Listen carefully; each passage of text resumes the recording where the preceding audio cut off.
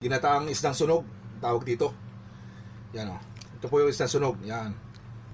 Sarap nito. Ginataan ko po ito. Tikman natin. Ang sabaw ng ating ginataan. Mmm. Sarap.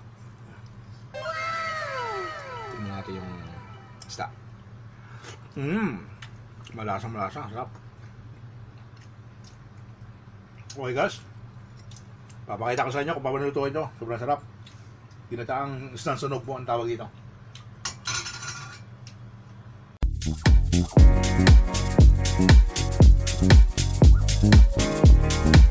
Oh, hello guys, to magluluto tayo ng ah, masarap na ah, ginataang isda. Ito, isdang sunog.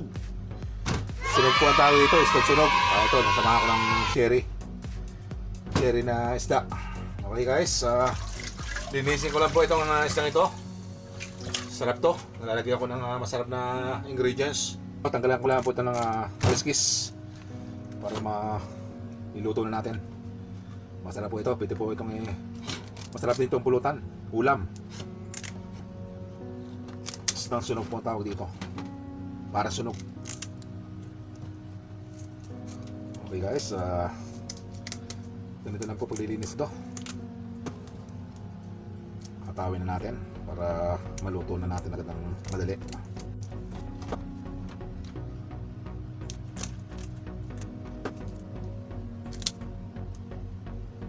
Yan. Para hindi tayo matitinik. Tuloy natin yung kaliskis. Kunting mamay.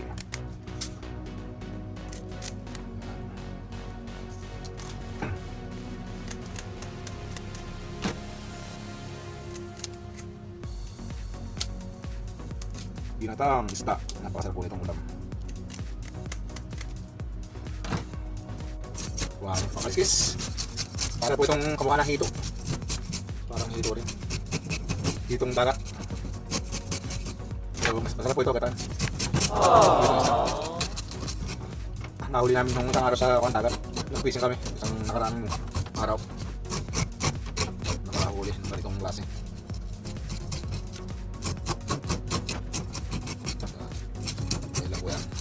Kakalskis. Tanggalin natin mga mabuti. Para walang nasa makalskis. Malinis. Ito naman cherry. Cherry. Cherry tawag ito dito sa Middle East. Masarap din itong ano. Kataan. Putul-putulin lang po natin to guys. Putul-putulin natin. Sarap nito. Nito. Maganda po yung naman ito. Pagka kimataan. Malasa ito. Masarap. Ito na guys ang ating mga ingredients. Ah, ito yung isda na paghiwa-hiwa ko na po, napagputol-putol ko na. Meron po tayong talong dito. Yan, eggplant. Dalawang ah, sibuyas. Dalawang kamatis, luya. Saka po ito bawang. Yan, bawang. Paminta. Meron din tayong sili. At itong coconut milk. Yan, lalagyan po tayo para sa gata. Lalagyan din po natin yan ng ah, samahan natin ng ito, turmeric powder. Yan po ang magpapasarap kan. Napaka napakasarap na ginataan. Piprituhin ko lang po ito ng half cook. Itong ating isda. Patapos ay ah, susunod na natin yung ating mga next step. Pipirito ko lang po ng ah, half cook yung isda para hindi siya pa- para pumawala yung lansa saka hindi madudurog pagka ating ah, ginataan. Yan po ang diskarte dyan. Half cook muna. Fry. So guys, ah, prituhin ko lang ito ng half cook. So, pagkatapos ay aking kagataan na para mas masarap, mas malasa. Kaya lang po ang diskarte ko. Ang masarap na ginataang isda. Isda sunog. Okay guys, balikan na natin. Pero, sarap. Half cook na. Half cook lang po ito. Para mawala yung lasa. tanggal po yan ng lansa saka para hindi matulog. Kaya po ang diskarte sa ating masarap na ginataan. Ginataang isang sunog. Hanguin na natin. Para isolve natin yung second batch. Kaya lang po yan. Apok lang. Umpisa natin natin pagluluto. Lagyan natin ng mantika. Cooking oil.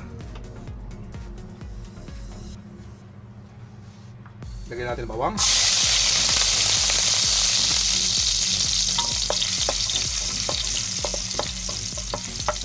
Isunod na natin ang sibuyas.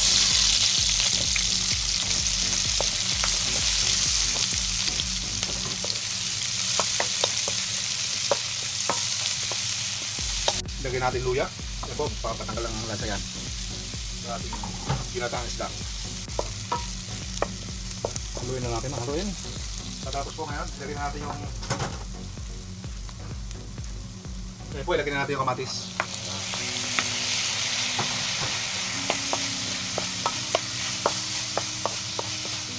Kamatis, ang po papalasa sa ating pinataan. Hintayin na natin, lumambot. Pamalambot na po, lalagyan natin. Ito yan. Malambot na guys, ito ating uh, kinikisang ano, sibuyas sa kamatis. Lagyan natin isda. Yan, haluin muna natin. Yan, para ma-mix. Para kumapit agad yung lasa sa ating isda.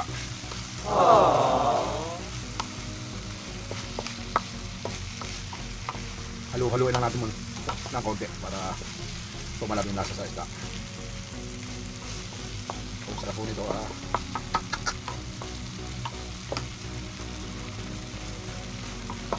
After 1 minute po, ilagay natin yung kata. Coconut milk. Ano? Sarap. Lapot.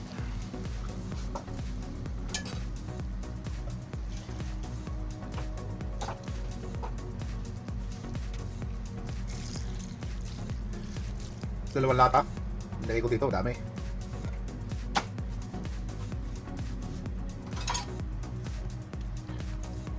Yo, sarap nito ha. Sarap ng aking pagkakaluto na rin. Lagyan na natin ng dahon ng laurel. Magpadagdag ng sarap yan. Hintayin na natin kumulo. Pagkapos, sasunod natin yung sunod na ingredients.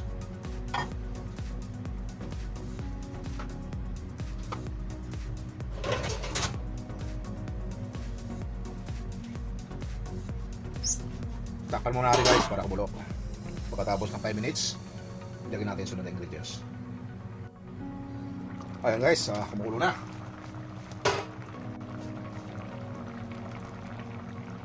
Lagyan natin turmeric. 1 teaspoon. Yan, Papa lasa dyan. Kulay.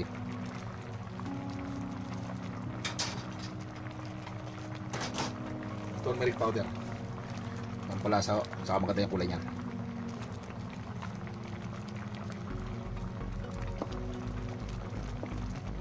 Maganda yung masarap po yan. Papasarap. Yan. Halu-haluin na natin. Para kumalat yung sauce.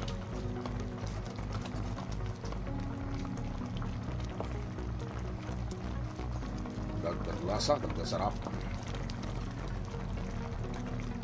Wala mga magic magic yan. Na sangkap yan. Natin. Lagyan natin. Pamintang group.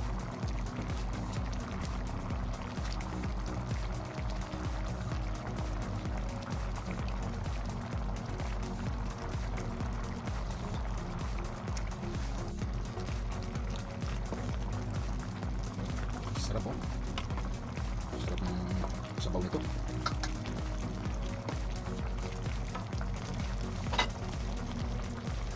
Lagyan natin sili. Sili. Green chili.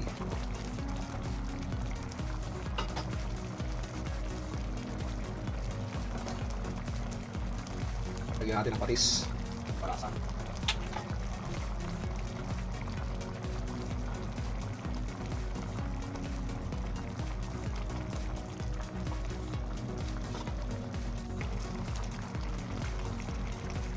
Hmm. Sarap.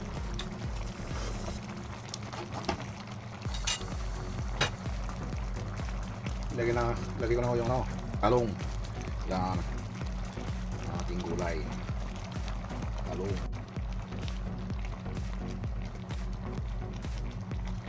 Bakulan natin, takpan. 5 minutes. Ayun na guys, kumukulo na. Sarap. lalagyan natin ng secret ingredients. Ito po, oh. Crab paste.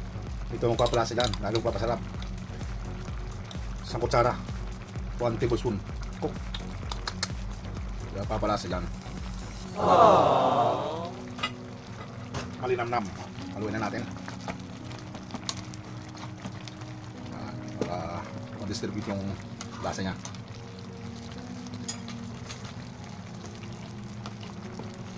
Sarap ito guys. Sarap ulam. Totoo na guys. Tikman natin sa baw. Ow! Sarap. Mm, yummy. Super yummy.